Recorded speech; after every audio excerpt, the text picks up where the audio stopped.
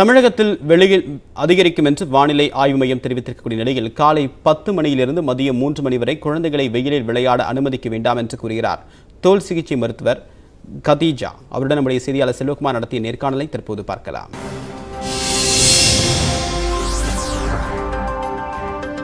Ma'am இப்போ summer வந்துச்சு வெயில் அதிகமாக இருக்குது வெளியே போகிறதுக்கே ரொம்ப பயமாக இருக்குது அந்த அளவுக்கு சூடு அதிகமாக இருக்குது இந்த மாதிரியான நேரத்தில் வந்து லைட் கலர் ட்ரெஸ் மட்டும் தான் போடணும் அப்படிங்கிறாங்க. டார்க் கலர் போட்டால் என்ன ஆகும்? எந்த மாதிரியான ட்ரெஸ்ஸஸ் போடணும்? யூஸ்வலாக டார்க் கலர் ட்ரெஸ்ஸஸ் என்ன பண்ணும் அப்படின்னா நம்மளோட அந்த வெயில் தாக்கத்தை அதிகப்படுத்தும். ரேடியேஷனை நல்லா உள்ளே இழுத்துக்கும்.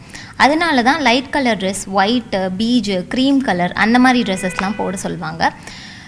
ட்ரெஸ்ஸஸ் வந்துட்டு லூஸ் ஃபிட்டிங்காக ரொம்ப லூஸாக இருக்கணும். அதே மாதிரி ஃபுல் போடுறது பெட்டர் ஏன்னா டேரெக்டாக நம்ம வெயில் வந்து ஸ்கின்ல படுறதுக்கு பதிலாக அந்த கிளாத்தில் பட்டு ரிஃப்ளெக்ட் ஆகி போகும். அதே மாதிரி காட்டன் வேர் பெட்டர் ஏன்னா வந்து சிந்தட்டிக் எல்லாம் அந்த காற்று உள்ளே போயிட்டு வர அந்த சர்க்குலேஷன் கம்மியாக இருக்கும். ரொம்ப ஸ்வெட் ஆகி வேர்க்குருன்னு சொல்கிற அந்த இதெல்லாம் வர சான்ஸ் இருக்குது அதனால காட்டன் ரொம்ப லூஸான ட்ரெஸ் போடுறது ப்ரெஃபரபிள் உணவு பழக்கம் அப்படின்னு எடுத்துக்கிட்டால் நான்வெஜ் அதிகமாக எடுக்கக்கூடாது.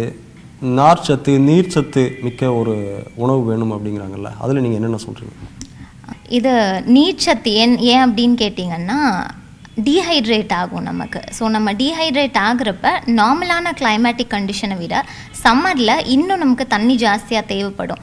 ஸோ அப்படி தண்ணி ஜாஸ்தியாக தேவைப்படுறப்ப நம்ம அதை எக்ஸ்டர்னலாக அதாவது நம்ம நீர் எடுக்கிறது தண்ணீர் எடுக்கிறதா இருக்கட்டும் இளநீர் இல்லைன்னா ஜூஸ் அந்த மாதிரி சில நீர்ச்சத்துக்கள் எடுத்துக்கிட்டோம் அப்படின்னா பெட்டர் அண்ட் நான்வெஜ்ஜை வந்துட்டு கம்ப்ளீட்டாக அவாய்ட் பண்ணும் அப்படின்ற அவசியம் இல்லை. பட் அது நேச்சுரலாகவே வந்து ஹீட் காஸ் பண்ணும் அப்படின்றதுனால ஃப்ரீக்வன்சியை ரெடியூஸ் பண்ணிக்கலாம். இப்போ வாரத்துக்கு மூணு வாட்டி எடுக்கிறாங்க அப்படின்னா வாரத்துக்கு ஒரு வாட்டி. அந்த மாதிரி மட்டும் பண்ணிக்கிட்டாலே போதுமானதாக இருக்கும். குழந்தைங்களை பொறுத்த வரைக்கும் இந்த சம்மரில் அதிகமாக வந்து வெளியே விளையாடுவாங்க. அவங்களுக்கு வந்து அந்த சூரியன் கதிர்கள் வந்து மேலே பட்டுக்கிட்டே இருக்கும். ஸோ அந்த சூரிய வெளிச்சம் படுறது நல்லதுன்னு டாக்டர் சொல்கிறாங்க ஆனால் இந்த மாதிரியான நேரத்தில் அது வந்து நல்லதா? எவ்வளோ நேரம் இருக்கலாம்? சூரிய வெயில் படுறது நல்லது தான் ஆனால் எந்த நேரம் அப்படின்றது வெரி ரொம்ப முக்கியம். ஏர்லி மார்னிங் அதிகாலை அப்படின்னா அது பரவாயில்ல. இந்த பத்துலேருந்து மூணு வல் மணிக்குள்ள யூவி இண்டெக்ஸ் வந்து ரொம்ப ஜாஸ்தியாக இருக்கும். அந்த ரேடியேஷன் தாக்கம் வந்து ரொம்ப அதிகமாக இருக்கும். அப்போது அந்த நேரத்தில் வெளியில் போகிறத அவாய்ட் பண்ணிக்கிறது நல்லது. அதாவது இன்னைக்கு லேடிஸ் மட்டும் இல்லை ஜென்ஸுமே நிறைய வந்து சன்ஸ்க்ரீன் யூஸ் பண்ணுறாங்க ஸோ இது வந்து தொடர்ச்சியாக ஒரு ரெண்டு மூணு மாதம் சன்ஸ்க்ரீன் வந்து பண்ணும்போது இதனால் ஏதாவது தோலுக்கு ஏதாவது பாதிப்பு இருக்குமா?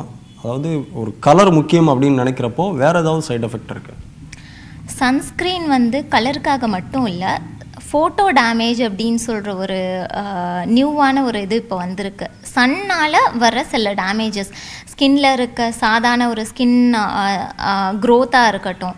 கேன்சர் வர இது வந்துட்டு சன் டேமேஜ்னால உருவாகும். அப்போது நம்ம சன்ஸ்க்ரீன் அது எல்லாத்தையுமே தடுக்கும்.